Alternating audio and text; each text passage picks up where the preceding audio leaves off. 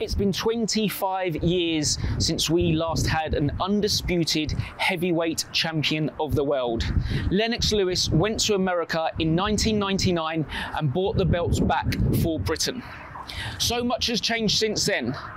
I had a haircut that was both long and spiky. Manchester United would win the treble instead of the odd tackle.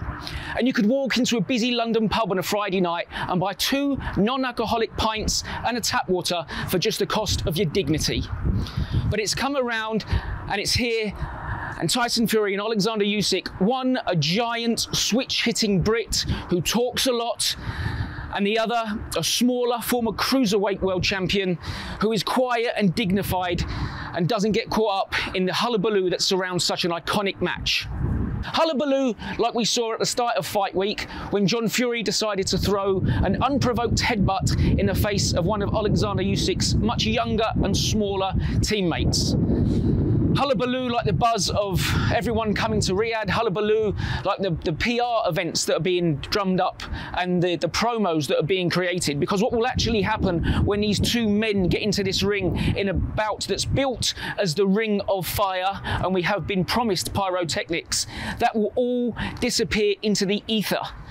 An Olympian, an Olympic gold winner from 2012 at London with over 300 amateur bouts, who's visited the front line since Ukraine was invaded by Russia, against a man, a showman, a, a man who has sold books, sold his, his family life to Netflix. Uh, two completely contrasting characters, but two of the finest boxers of this era since Lennox Lewis. And when they get in the ring, what they've said, what they've threatened, what their teams have done will all disappear and these two fellas will throw it down probably for the full 36 minutes. And finally, at the end of all that, unless we get a draw, which we all thought would be impossible when Tyson Fury and Deontay Wilder first met, one of those fellas will walk away unquestionably the finest heavyweight that walks the earth.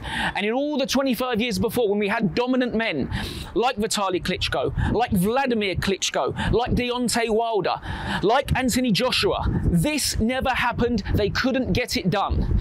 But it's here and it's happening, and we can't wait. Don't be depressed at the idea that you might have to wait another 25 years for something like this to come around. The rematch is signed and sealed, and it's most likely to happen in October or November, unless one of these guys walks out into the middle of the ring and savages the other inside two, three rounds, and the, the interest and the damage inflicted changes all the landscape. On June 1, Daniel Dubois and Filip Hrgovic will meet out here again. That might be for the IBF full heavyweight world title. It might be for an interim. It might be for none if Fury and Usyk is so close and the sanctioning bodies want to keep them together. But what we do believe is that in September at Wembley Stadium in front of 90 plus thousand probably mostly English fans, Anthony Joshua will get back in the ring for us. And it will be against either Hrgovic or Dubois. What it looks like happens next is that Tyson Fury will have settled the Alexander Usyk undisputed discussion and he will be a free agent to finally come face to face with Anthony Joshua.